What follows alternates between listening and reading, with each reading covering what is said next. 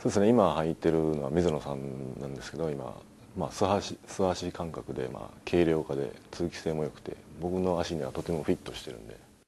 やっぱこれ多分持ったら分かると思うんですけどめちゃめちゃ軽いんですよ。僕はその軽さとそのフィット感と、まあ、素足感覚っていうんですかね。それが今気に入っててこれを履いてます。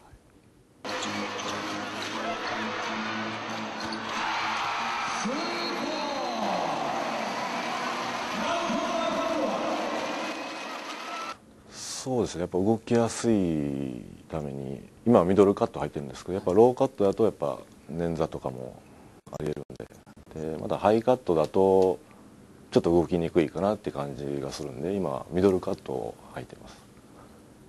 やっぱグリップ性ですかね。滑らないシューズが、えー、作ってほしいと思います。